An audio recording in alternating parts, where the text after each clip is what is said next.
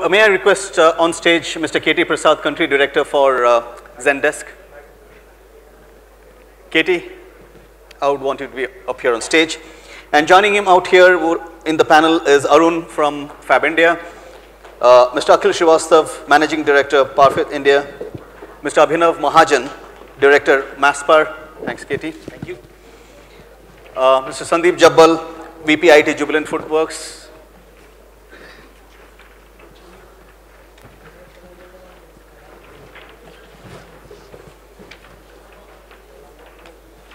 And um, KT, all yours. Thank you. And uh, we'll have 30 minutes of uh, a strong discussion, Awesome. right? So we'll be then 15 minutes behind schedule, and I promise to give you back that 15 minutes in the second half. You know, I love these challenges. Uh, you know, first challenge we've seen technical challenge on the video, and then the third sound that all of us heard. Second challenge, any session before lunch, man, that's the most difficult session because I'm starving and I'm hungry, and you'll be thinking that you know what are we guys going to talk about it. So that's the second challenge. Third challenge, you know, yeah, you've got about 40 minutes. All of a sudden you have to do it in 30 minutes. But remember, it's the best thing to happen because you all can be out in 30 minutes and go out and have lunch.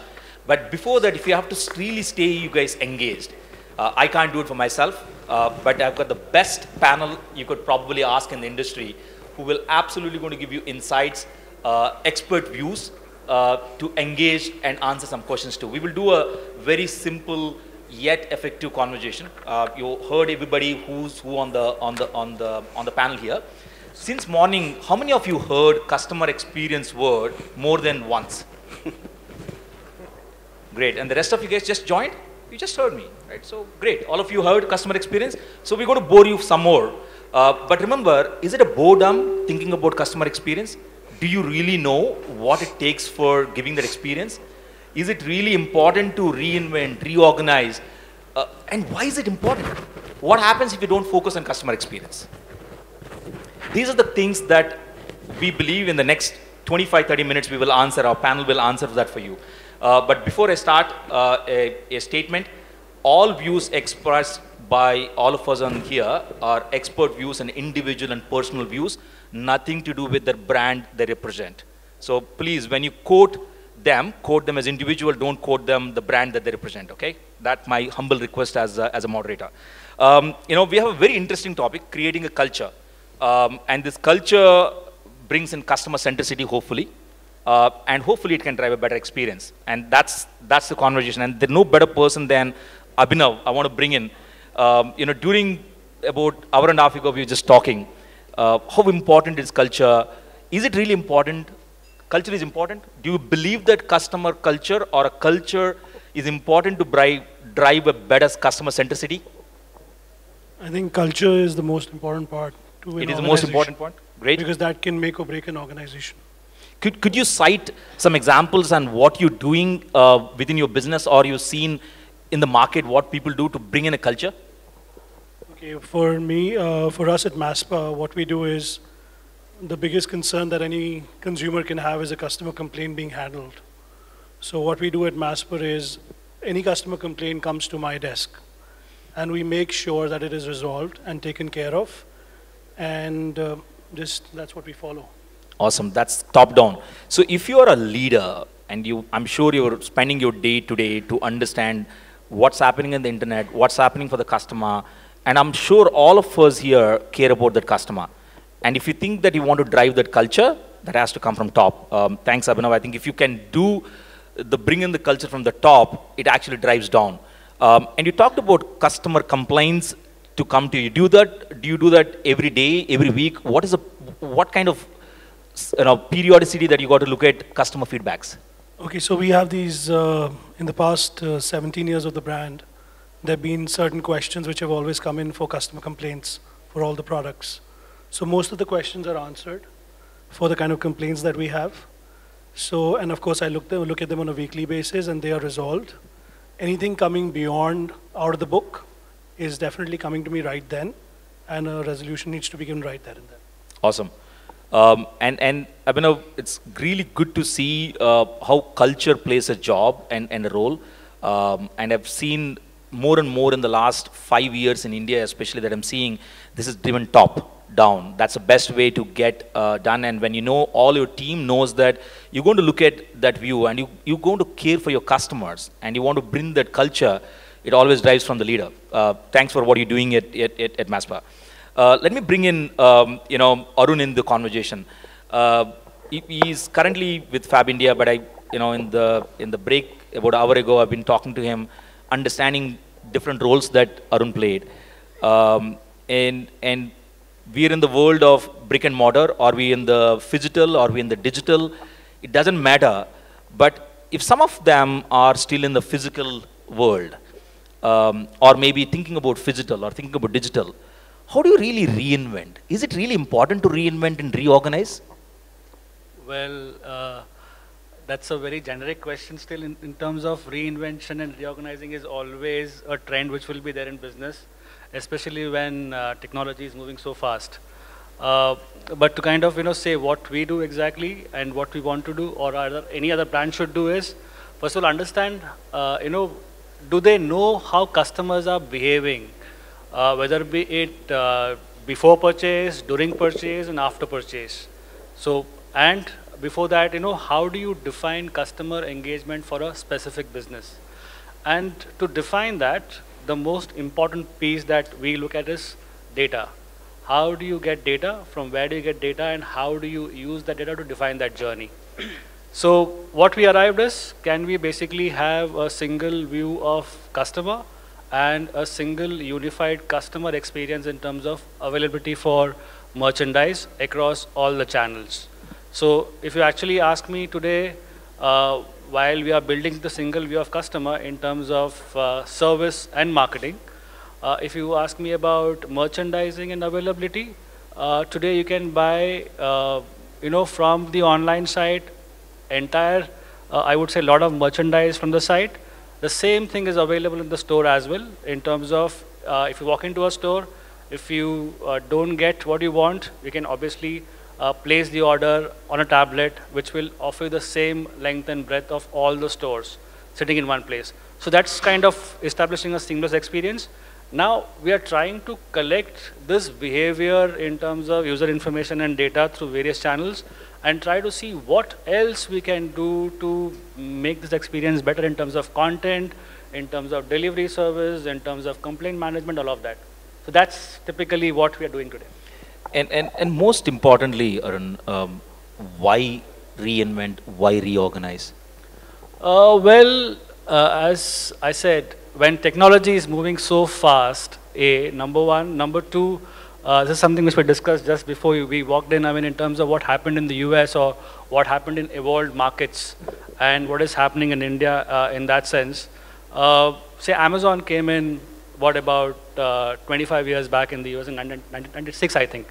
Yeah, and uh, for India, I mean, Flipkart was kind of visible from 2010 onwards. So we're almost 15 years late. Uh, five, 10 years back, uh, Evolved Market spoke about omni-channel. We speak about omni-channel today itself within 10 years. So it's, it's about uh, a evolved journey which takes about 20 years to complete. In India, we take about 5 to 10 years to complete. Similar like what happened to pagers when mobile phones came in. So it's all about our consumers moving much faster than the uh, other consumers, and we also need to look at changing our availability and our services based on that. I, th I think, Arun, beautiful because the customer expectations are changing and changing rapidly. If you don't reinvent and redesign and, and, and reset yourself, you will probably be displaced um, by competition uh, and customer doesn't think that you're you're doing the right for them and they become disloyal and they move away. Very very important aspect and thanks for bringing that up Arun. let me bring in Sandeep here. You know we do reorganization. Customer experience is important. You know of course I represent a company who, who does only customer experience solution but that thing, nothing to do with uh, the the conversation today Sandeep here. You know we have trends. We talk about culture. We talk about reorganization but rubber hitting the ground is all the technology. It is the enabler. It plays an important role whether you do a physical store, you want to do an omni-channel store, or you want to do a you know, superior experience on digital. Technology plays a very important role. And, and just want to bring you in and say, hey, if you're thinking about great customer experience, how do you pick a technology that can actually, you know, bring in the right elements of culture? It doesn't lose it. It doesn't. It allows you to be flexible. How do you pick technology to enable this great customer experience? Thanks, KT. Uh, see, uh, great customer experience or customer centricity essentially means for any business is making things easy for customer.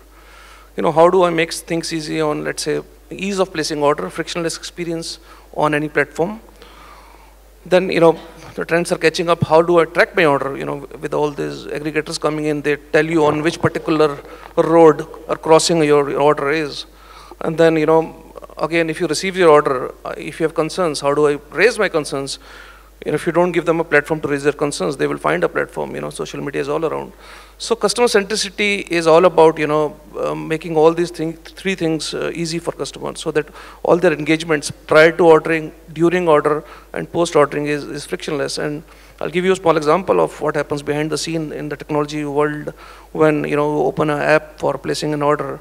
Uh, you know, hundreds of servers are fired uh, during all this, uh, you know, transition to locate your location, to identify the restaurant in your location which is going to serve your house, to identify whether that restaurant is open or not, to identify whether the IT equipment in that restaurant is working or not to receive your order, to identify the right level of stock available in the store to serve your particular order if all the ingredients are in stock.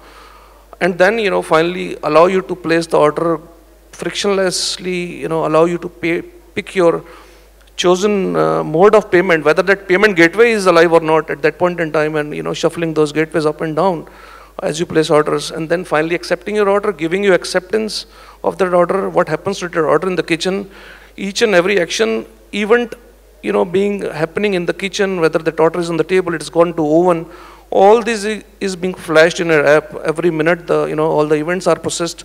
Millions of events are being processed per day you know through cloud services and being fired into your apps to give you where your food is.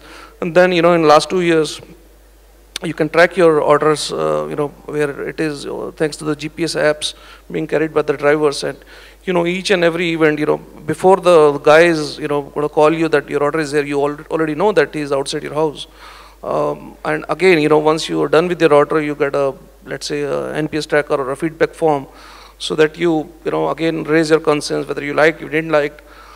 Again, all this, you know, uh, going back to the, the different teams working together, having access to those technologies, solving your concerns. So all this is customer centricity and, and let me tell you, things being easier for the customer, being things easier, uh, tougher for the IT. But again, you know, we love taking these challenges. And of course, there's a big, big uh, technology uh, piece behind things, making things easier for the customer. Awesome. Uh, you know, I think you touched upon very important aspect about today's customer mindset. Uh, uh, instant gratification. Um, you know, everything you need instant. And I think probably this is what driving millennials driving it, or the behaviors of millennials is been, you know, going across all the generations. And, and you talked about tracking in the mobile app. I think you're providing information proactively to customer so that they don't call you, they don't, uh, no, they won't have impatience. They know where is their order. They know who's bringing their order. They know where exactly they're in the, in, in, in, the, in the map. I think being proactive to them, uh, using simple mobile app, but at the same time journey mapping, I think beautiful. Uh, great, uh, thanks Sandeep. I'm going to bring in um, uh, Akhil now. Akhil, you represent um, a brand which is not often spoken, but I, I, would say this is a very important brand. You're playing a very important role um, in empowerment. Uh, it's woman-only brand. Um, so when you deal with such organizations and you have a huge market to, to address, would your strategy for customer experience would be different? Uh, of course, I mean, uh, before, you know, giving your um, Uh, reply. Sure. I just want to share some very basic things I'm sure everyone aware, but still, you know, see there is a, one thing is very important, customer service and customer experience. So it's look like, you know, if you look at in a different angle, so customer service and customer experience is all about offline versus online. Offline what? Offline is basically is a feel and touch. Online is what? Education, deal and delivery. That's the very basic and that's the very upgraded format for the retail commercial trading business format, to be honest. So now, if we look at about the technology and the customer service and the customer, you know, approach, kind of, you know, buying behavior and all. So now coming back to my uh, category and all. So yes, um, right now if you look at 20 years back when the internet and technology started, that moment, look at the women's buying behavior. Just understand the women's challenges, women's pocket size, women's you know traditional challenges. There are a lot of external factor also. After 20 years, right now down the line, if we are sitting in 2020, just I mean just just we can check and compare. So the, through the technology, women's actually they get completely very good empowerment. Women's are getting everyday empowerment in terms of health, in terms of educations.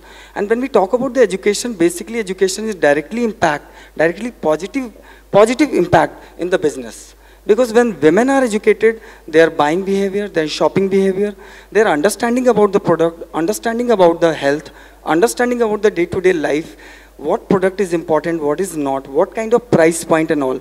When we talk about the discount and you know offer and all, yes, everything is important, but it's really very important to customers should educate. Because when we talk about the experience and services, so again I'm telling you, the both party have to be very, you know, in terms of education is a really right way. And technology really is supporting in a very tremendous way. So you, are saying that you go, you're using technology um, to educate. That means you have information uh, dissemination. That means you're providing information to yeah. uh, so to women uh, or your, your buyers. They are buyers. Yeah. Um, sorry. So uh, I mean now, right now, if you look at the internet and the lingerie industry, this has looked like very similar. They started and the right now they landed because of the education, lingerie business is very high right now. It's a very big scope in the market, very high category, you know, a potential market because of the education. So, I mean, see, technology again is supported to the lingerie market because there are two, three, two, three, so I, can, I can't say it's a challenges. It's a very different kind of, you know, uh, factor. One, we always said it's a taboo. When we talk about the market, when we talk about the you know, women's and gender based and all, this is a kind of taboo still in India. I'm not saying people are not educated and skilled. People are educated and skilled because of the traditional challenges, because of the, our culture and all. They always respect to the seniors, juniors, genders and all. That's why it's become a taboo. To be honest, again I'm telling you. But now because of the technology, women start getting education, they start understanding about the, what is the health, what is the right size, what is the feature, what is the comfort. Before they, they, they, are, they never care about the comfort. They never care about the, what size required. They only, it is the need. But now it is all about not need, it is all about the feature. Long-term future, long life.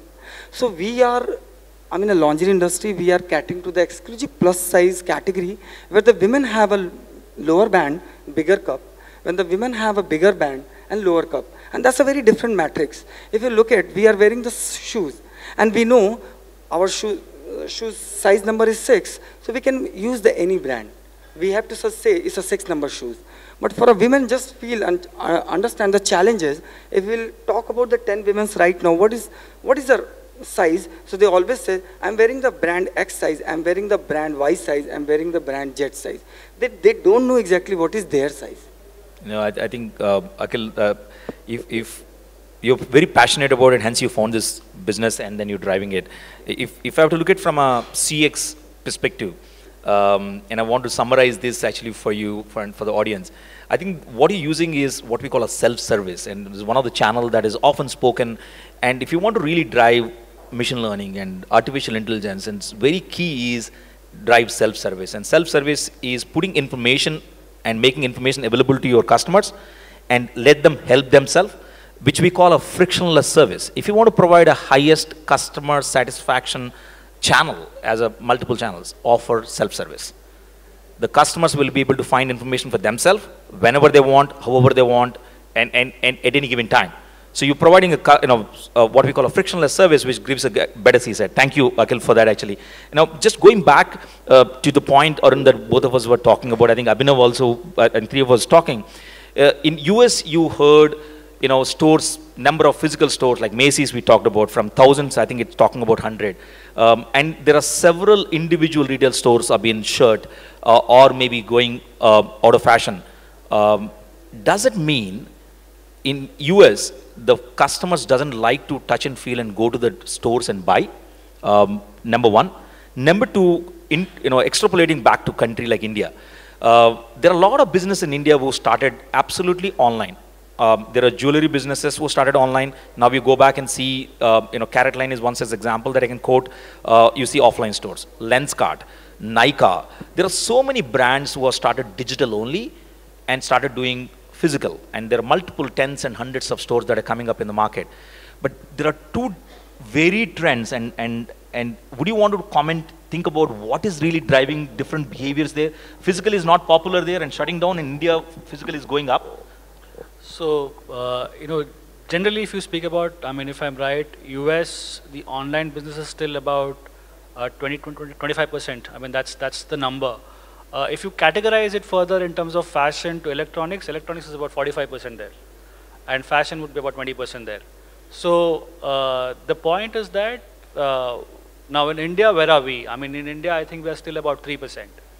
So it's it's not about whether uh, the customer's behavior is changed. Obviously, the customer's behavior has changed. Now, when we talk about retailers shutting down, it's primarily retailers not delivering the kind of experience which uh, this change calls for. Now, if a customer is moving on digital, whether your brand is digitally as active as it should be, is delivering the kind of experience that is required for the customer or not is the big question. Whether you are doing it, I mean, through your own site, through your own app, through a third-party app or a third-party site, whatever it may be. But the, is the customer getting the right kind of experience online to offline and offline to online? That defines whether you're going to stay in business or not. Brilliant. Just touching on the same point, I mean, Abhinav, just going, taking one step. Do you see a trend erupting in this actually, which is which we call, in order to give a great customer experience, uh, the customer has to trust the trust is so important factor. Uh, the trust can drive loyalty and eventually become evangelism, and which is all, all of us understand.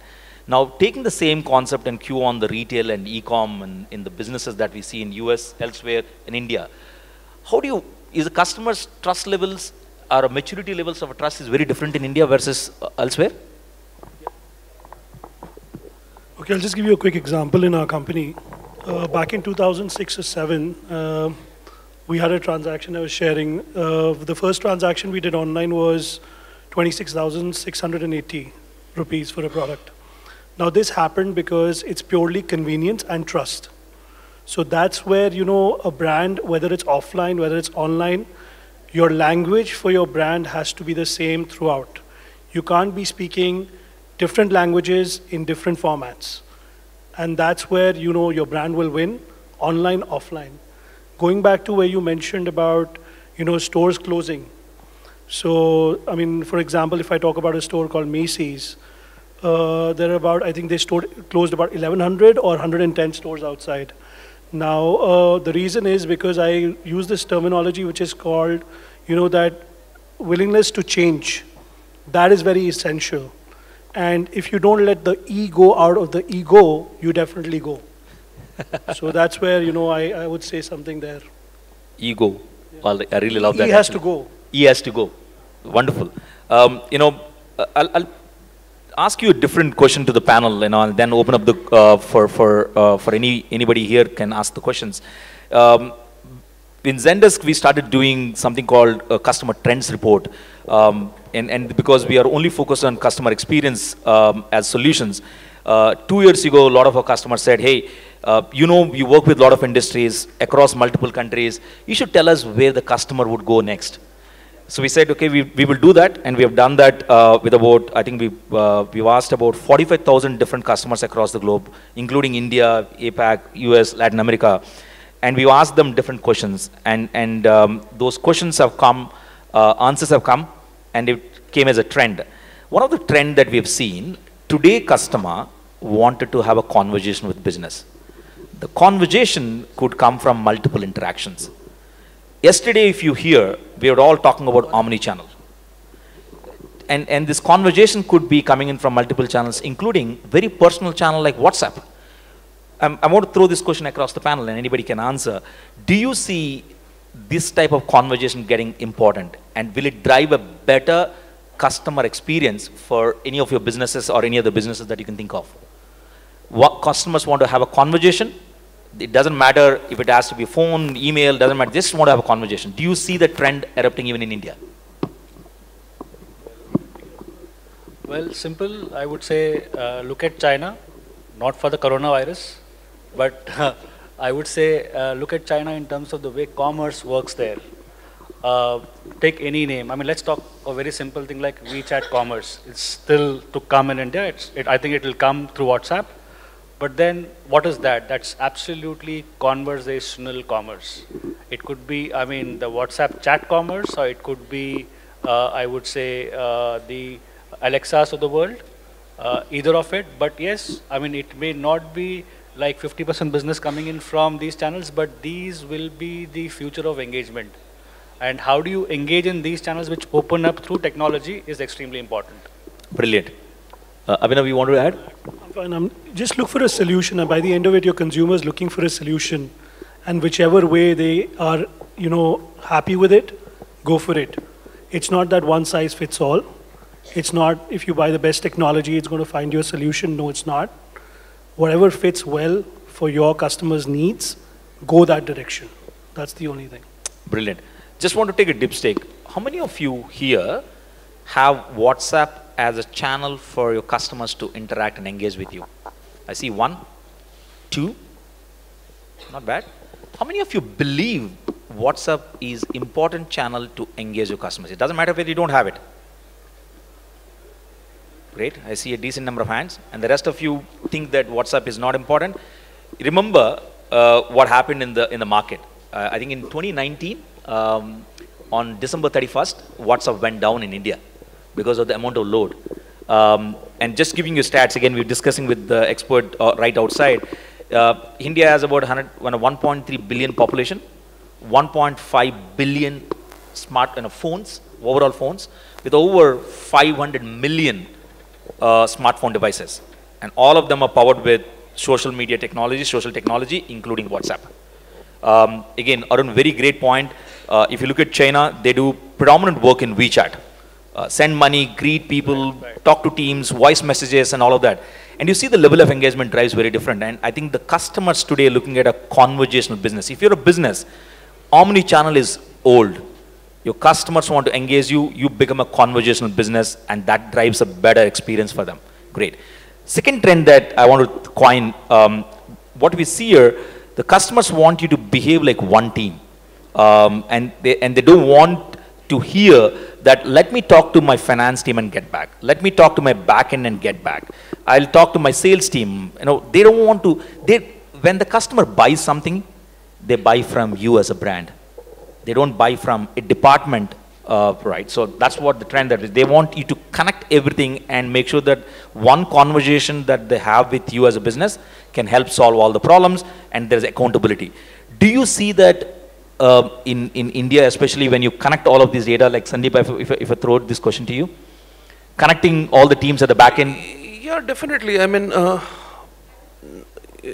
I mean, customer expects you to know him, you know, him or her better, whichever touch point you choose to interact, whether you're trying to, you know, I mean, uh, it's all starts with the, you know, may I have your mobile number, please. moment you have given your mobile number, customer expects that you might have pulled out details of his last transaction, his address. He doesn't expect to repeat his address or choices. If I just want to, you know, call, uh, you know, this is my number and want to repeat my last order, or I open my app and, you know, it shows on the front page, uh, with one click I can repeat my last order. That's what customer expect to know him or her better with each interaction. And for that you need to have uh, you know all these channels connected. And these channels are not finite now. I would say. Uh, you know, uh, customer is writing something on social media on your page, fine, you can always track it. Customer is writing something about you on a blog, they expect you to listen to that as well.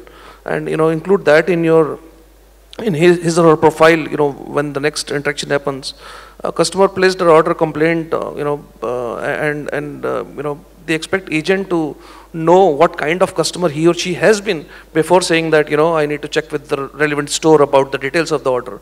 So that kind of empowerment and that kind of data enrichment should drive that empowerment so that a decision can be taken instantly as we do with all these conversational bots. Uh, you know, you place your complaint on the basis of your previous interaction with that brand, uh, you know, you are offered a refund or you're offered a further chat with the agent or, you know, it, it has all become very frictionless. And it's all because you have connected all the customer interactions, have a 360 view of customer and are able to empower your people to, you know, take decisions on any uh, touch point the customer decides to approach you. Awesome. Uh, Abhinav, you, you wanted to add? I'll give you two examples. Uh, there's this company in uh, um, uh, Nordstrom. I keep quoting this example and I think in the last one and a half hours, I would have quoted it about five times. Uh, what they do is they don't question. I mean, there was a store, I don't know, I don't remember which part of US, but um, somebody came with tires into that store and said, I bought these tires here, and so they costed me this much. So the person simply said, how much did you pay for them? So the guy said, whatever. So he just took out the cash and gave it back to the customer. So later on, his subordinate asked him, Sir, we never sold tires here, hmm. but then why do you do this? He said, I'm respecting the location, A. Second, because this customer walked into Nordstrom, should get the right service. Wow. So that's the first part. Second, another one is there's a hotel. So somebody gave a, this, is, this again happened back in US. They gave their car in, in valet, and then something happened where he had kept a music system which he had just bought in his trunk.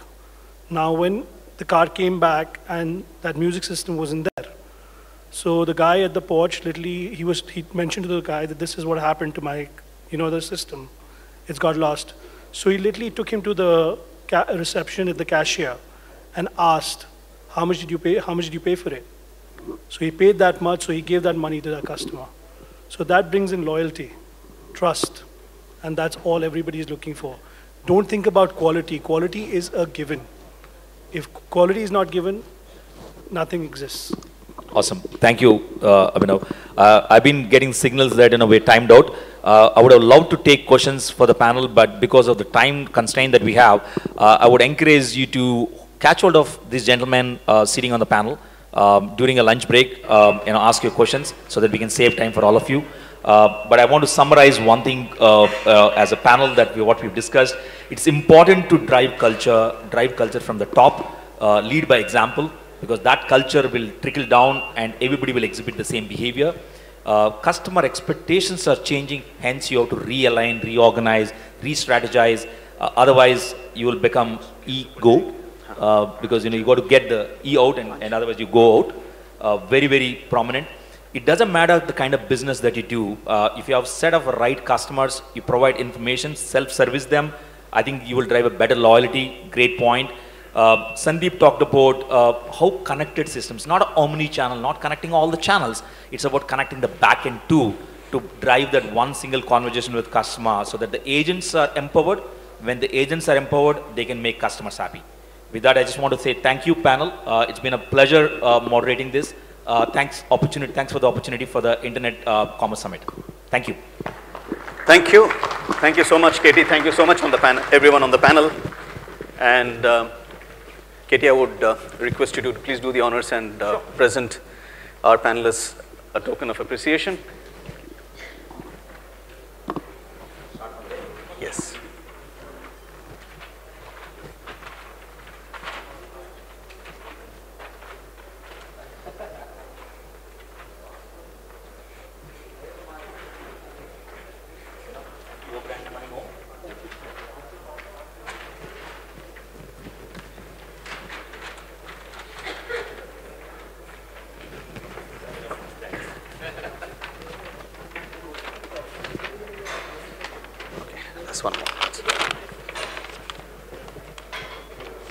And KT, for wonderfully moderating the session. This is for you. Thank, Thank you so much. I think he wants one, one pick.